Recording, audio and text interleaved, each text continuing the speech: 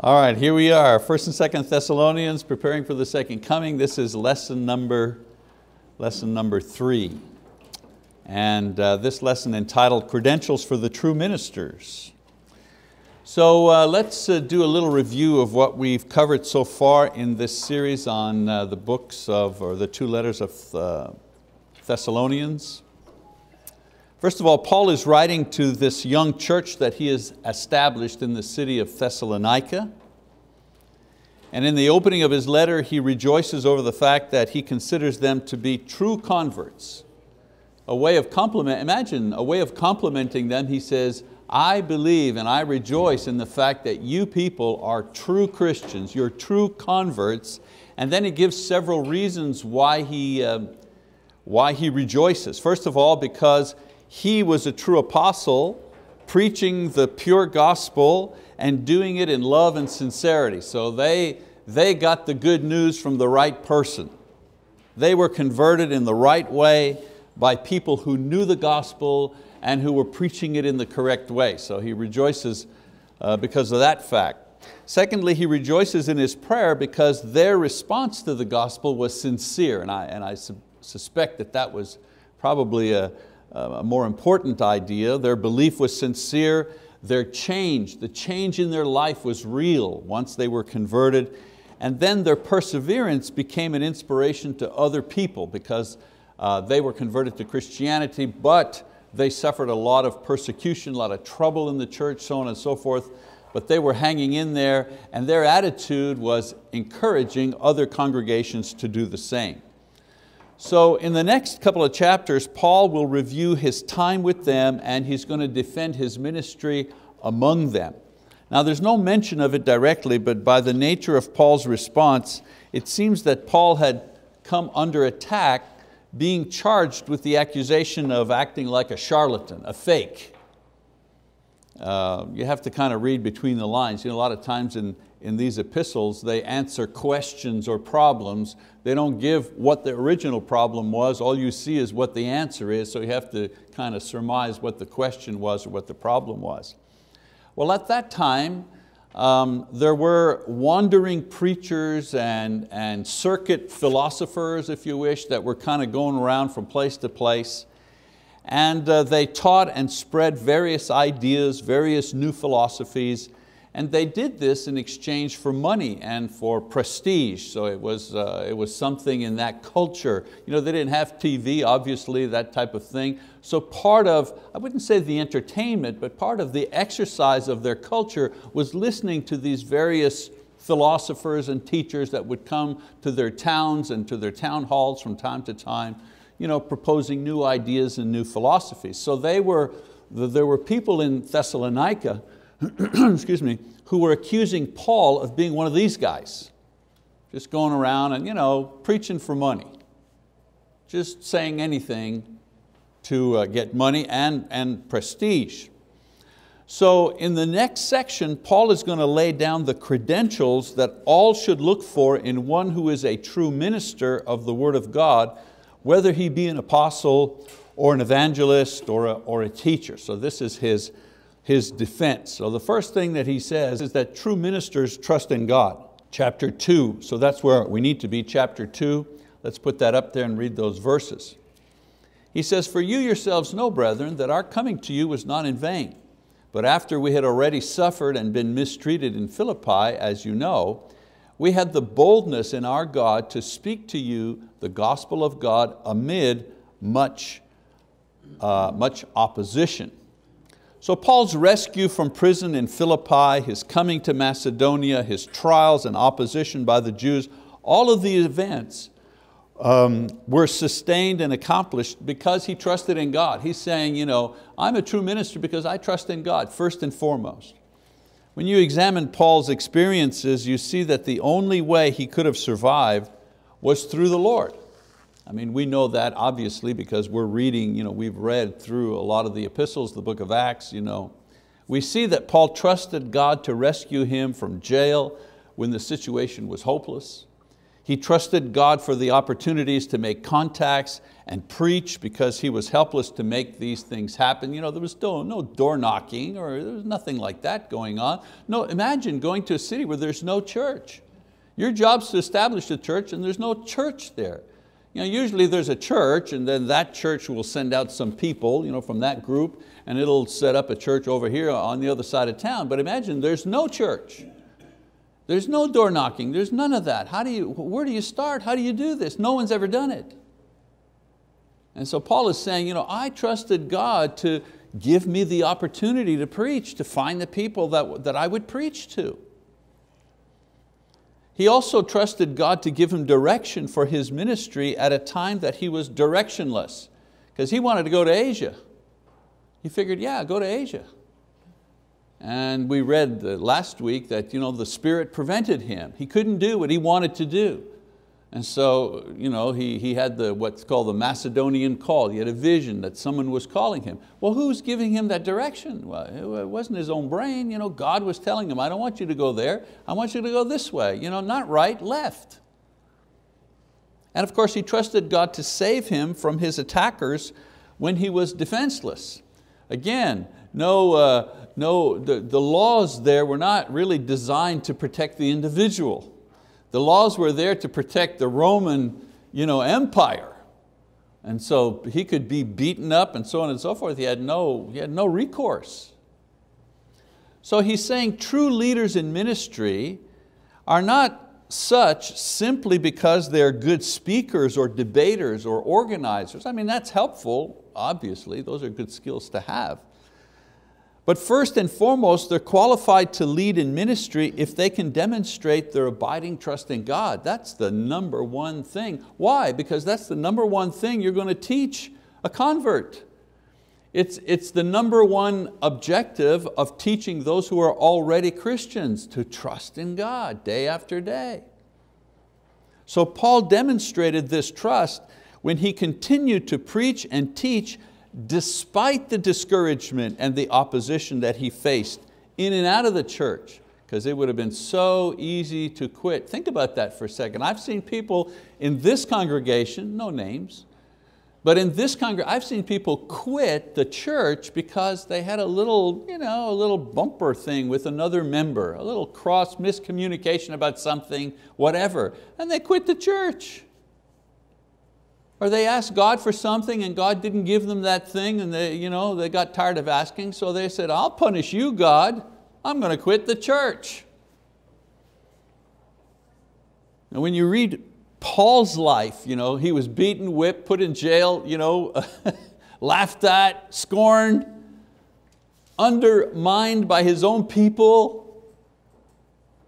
I mean, it, it, it took a tremendous amount of faith in God to just keep on going after. It's one thing when somebody outside the church hurts you.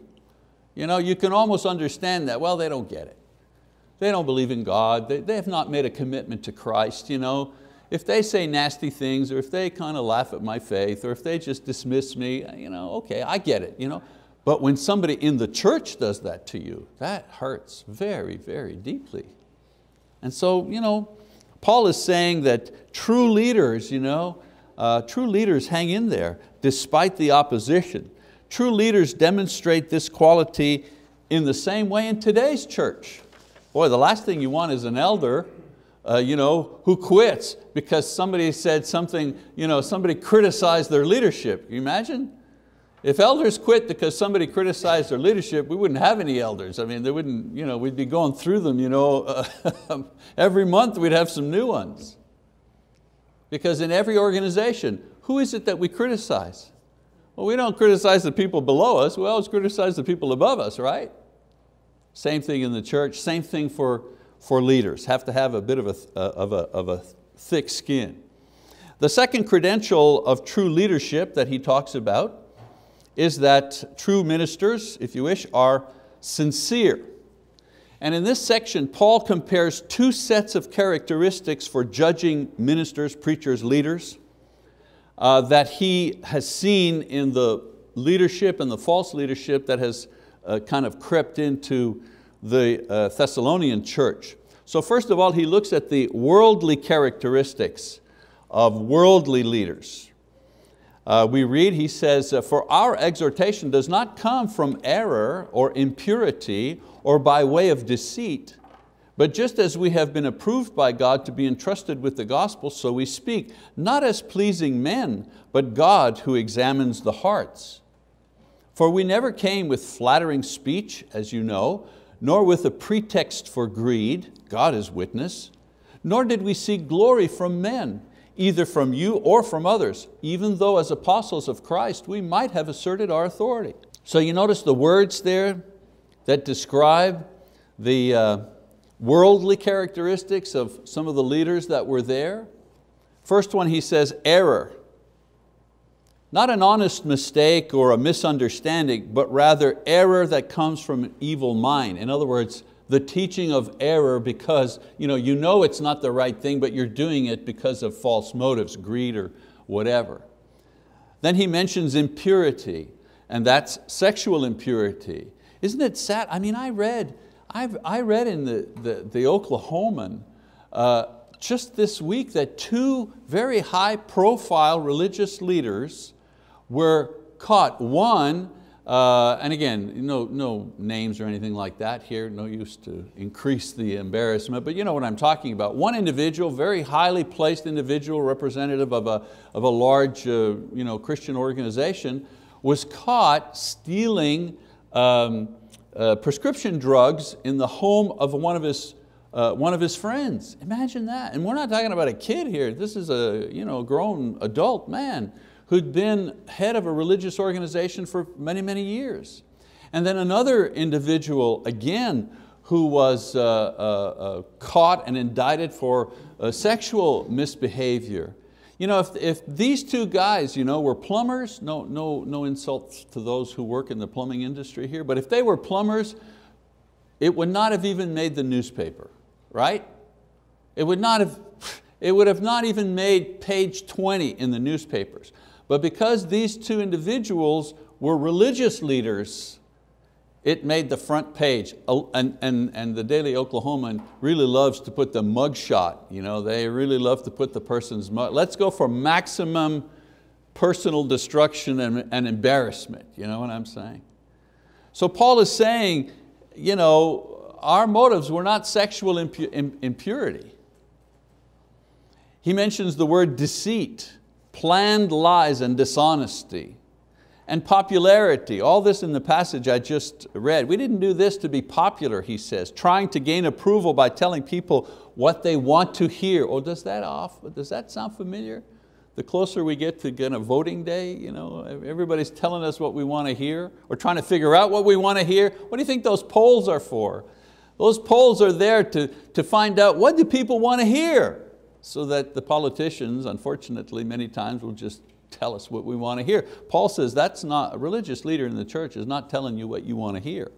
Uh, flattery do, done in order to blind them, not to build them up. It's one thing to build somebody up by pointing out their good points and encouraging them. It's quite another thing simply to flatter someone in order to gain an advantage. False pretenses, any type of covering to hide greed and then he mentions personal glory at the end, trying to raise ourselves up above, above others. Paul said this, these things are not the characteristics of, the, of God's ministers. Paul suggests that these are reasons some people go into religious service or what they hide under the cover of ministry. But these are not the things that should be part of a true minister's life. So then he goes on and he mentions uh, spiritual characteristics. He says, but we prove to be gentle among you, as a nursing mother tenderly cares for her own children. Having so fond an affection for you, we were well pleased to impart to you not only the gospel of God, but also our own lives, because you had become very dear to us. For you recall, brethren, our labor and hardship, how working night and day so as not to be a burden to any of you, we proclaim to you the gospel of God. You are witnesses, and so is God, how devoutly and uprightly and blamelessly we behave toward you believers, just as you know how we were exhorting and encouraging and imploring each one of you as a father would his own children.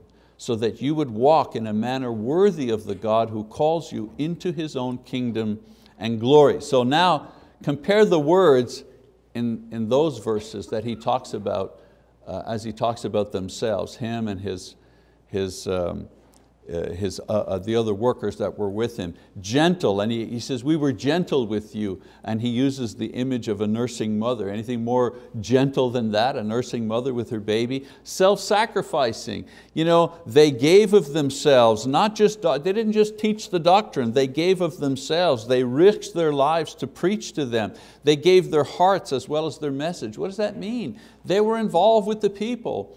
You know, they were involved with the people, very, very important. They were hardworking, they worked night and day among them and they took no money and he says, and it was our right to take money. The worker is worthy of his hire. There's nothing wrong with the minister uh, earning his living from preaching the word, but he says we had that right, but we didn't take that right. He says, we worked for free among you because the church at Thessalonica was a young church and they were poor people, so they didn't want to take advantage of, of, of their right to be paid for their, for their work. Isn't that what we do when we send a missionary somewhere? Isn't that what we do with Jeffrey Karima, for example, who works in, in Kenya, in the Maru province? We support him fully. Why?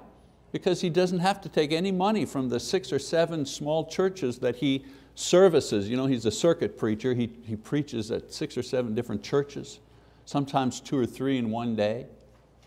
And then during the week he teaches at the Bible college there, you know, training young preachers. But he doesn't take a dime from the uh, Bible college and he doesn't take a penny from any of these churches. Why? Because they're young. He's just planted them. He does not want anyone to accuse him of simply you know, doing this for the money. And that's, I'm not saying we're special in that. Most churches of Christ, that's pretty much how we operate. We send a missionary out, we pay their salary so they won't have to collect any money from these young churches, give them a chance to grow and to, and to mature. He says they were pure, their conduct was above reproach. There was no hint of evil, no hint of worldliness. And they were fervent. They wanted the Thessalonians to please God and have eternal life with all their hearts, with all their strength. This was their motive in ministry. The good of the church. They wanted the church to, to grow. So Paul reminds them about their experience with himself and Silas and Timothy, and he challenges them to judge them not only on what they said and taught, but also on their actions, because we have enough talkers, don't we, in our society? Do we not have enough talkers on TV, online, on Facebook? That's all people do is talk. Talk, talk, talk, talk, talk. And Paul says, we didn't just talk.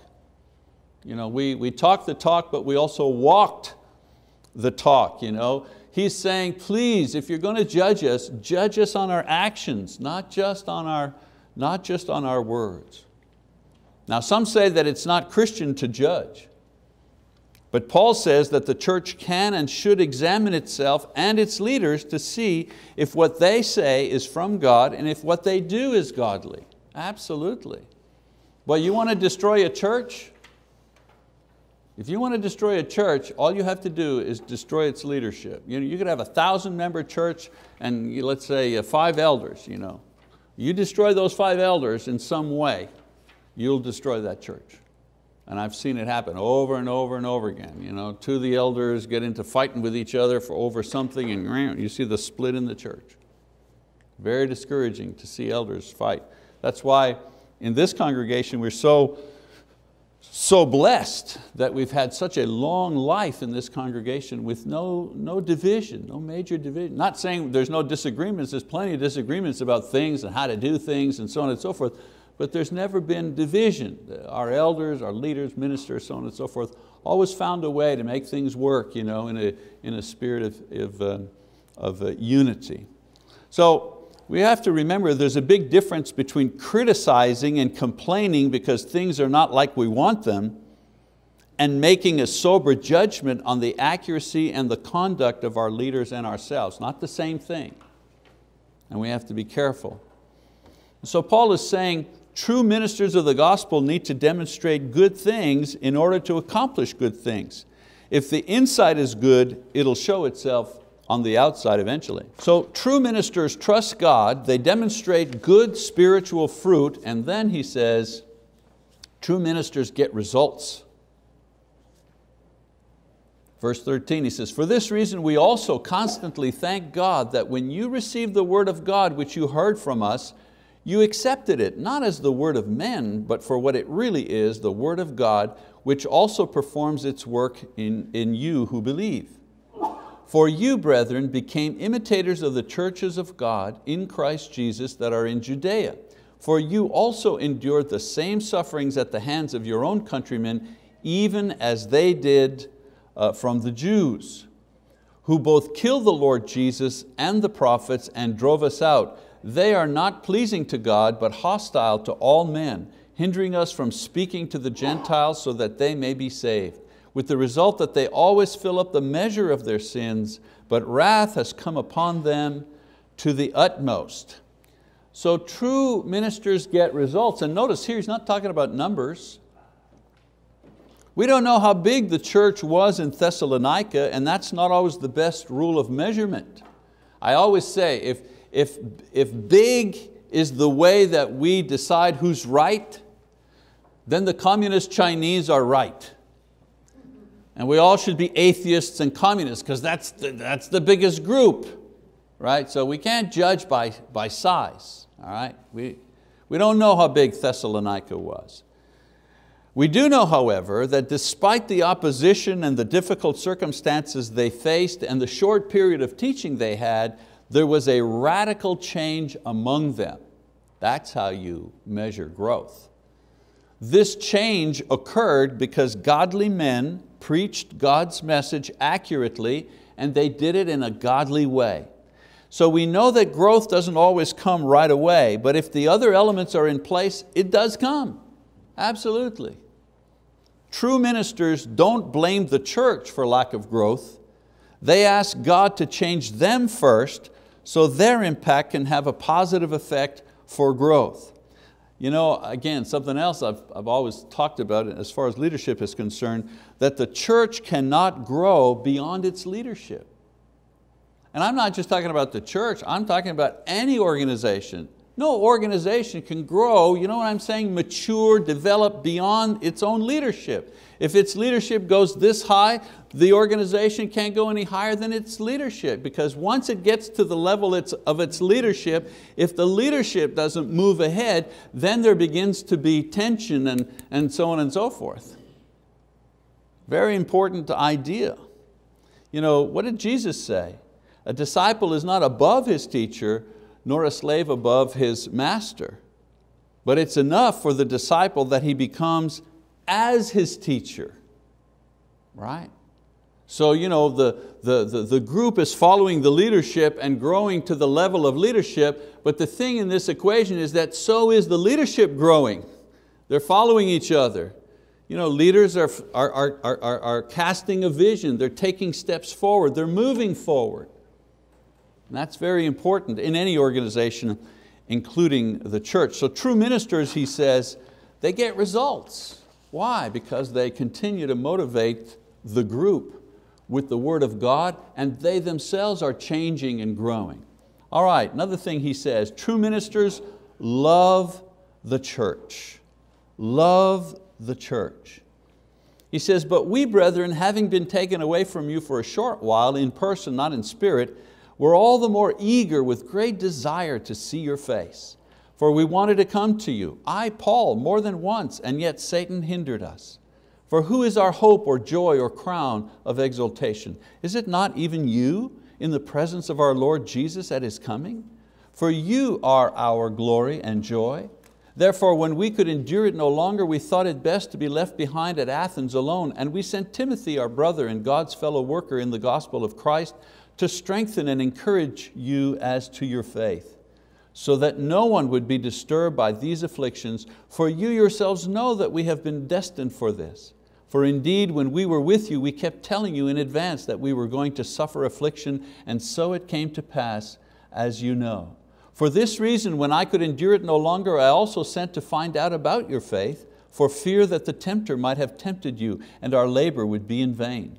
But now that Timothy has come to us from you and has brought us good news of your faith and love, and that you always think kindly of us, longing to see us just as we also long to see you, for this reason, brethren, in all our distress and affliction, we were comforted about uh, you through your faith.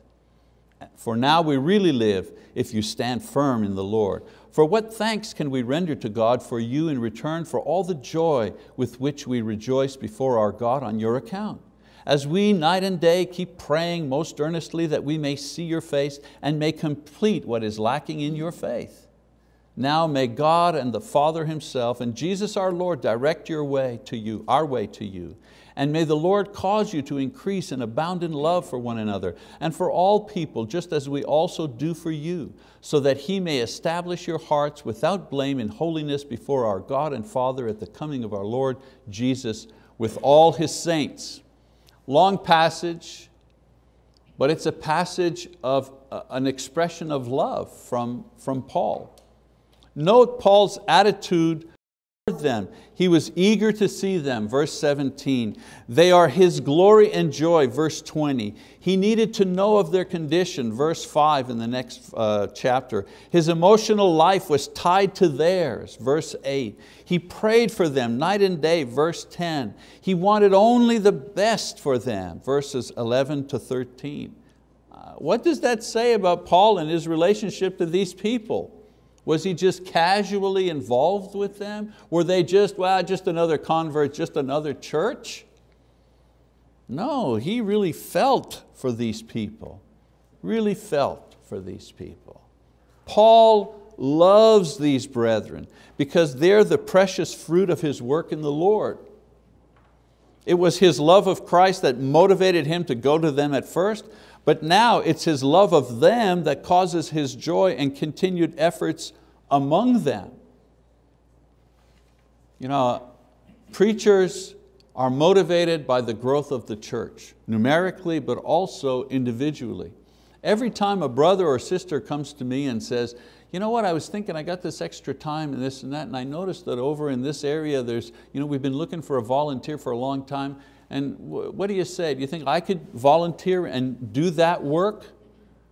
I mean, there's my paycheck. That's my paycheck. That, there's my spiritual paycheck right there. Obviously I got a paycheck because I got to pay rent just like you folks. But my real paycheck, the real satisfaction comes when that happens or when I hear the youth group wants to get together and go do a project to help people. There's my paycheck. When we say to the church, you know, we, we, we want to make this objective here because we want to do such and such financially, and, the, and the, the offering comes in, bing, bang, bing, bang, you know, and everybody pulls together and we do it, there's my paycheck. Paul loved the brethren and there was nothing he loved more than seeing them grow in their faith.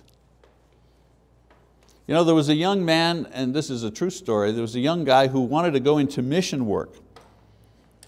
And he asked me what he needed in order to succeed in this type of, uh, in this type of work. And he said, you know, I speak one language and I'm kind of learning another language. And uh, should I get a trade or a second income you know, to fall back on if things get tough out in the mission field? Uh, uh, obviously I need to know about different religions. Uh, I need to get a good support network you know, and all this stuff. And he was rattling off, you know, what am I missing, he said, because you've been out in the field, you've been a missionary.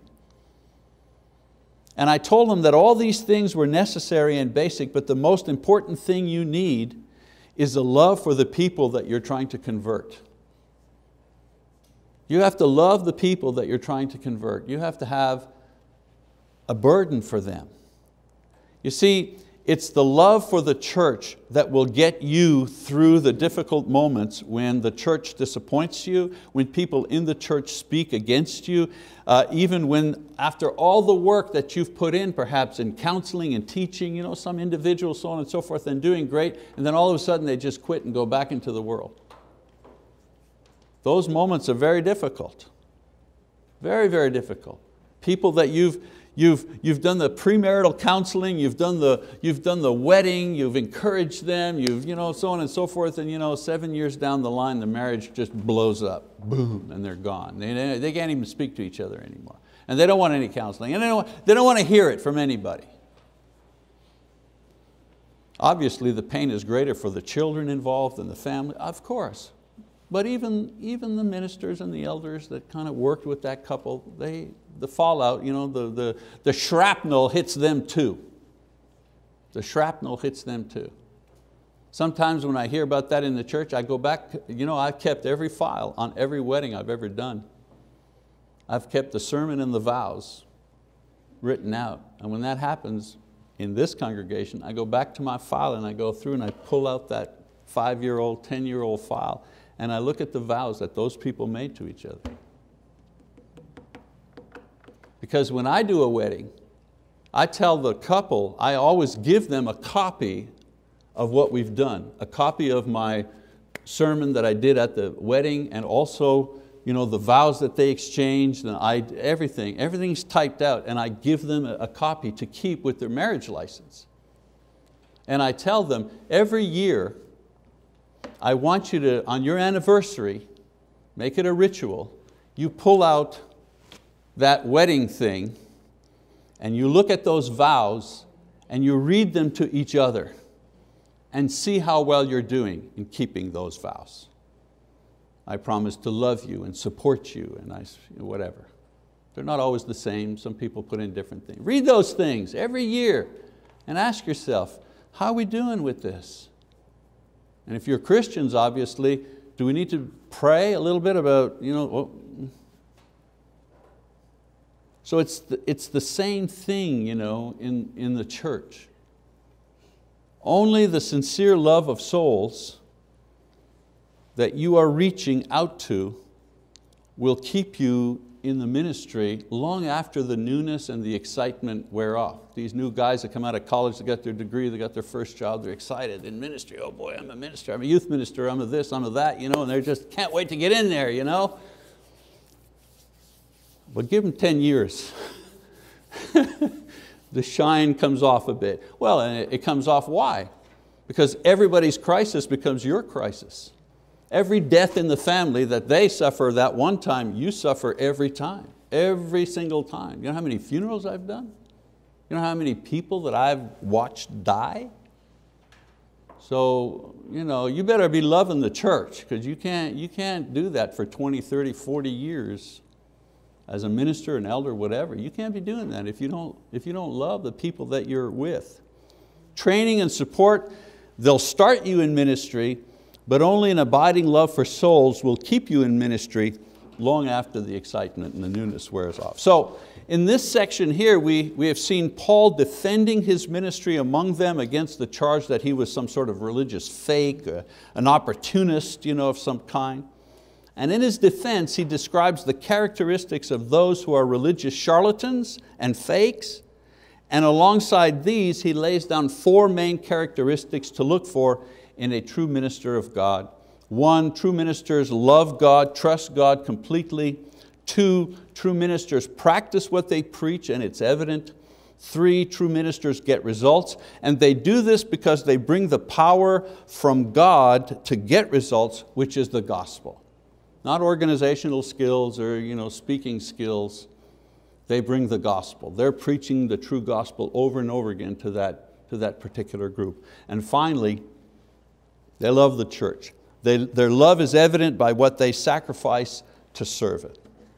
Now there are a lot who at some point think they want to become ministers, teachers, elders, so on and so forth. And these people need to ask themselves what God desires from His ministers. Not just degrees, not just work methods, equipment, money, so on and so forth. God wants trust. He wants trust purity and devotion to the church that His Son died to create. So I think you know, in, in any leadership role in the church, you know, I'm not just talking about ministers and elders, but those who want to serve as deacons or you know, leaders in a, you know, in a certain area of ministry, even without the title, people are leading in ministry. So these kind of qualities of heart, these are the things that give light to the studies and direction to the methods of work and the results of our effort when we're leading in any area uh, of the church. Okay, so we're going to quit now because he begin, Paul begins to talk about another subject and I won't broach that till we get to the next lesson. All right, thank you very much. We're good.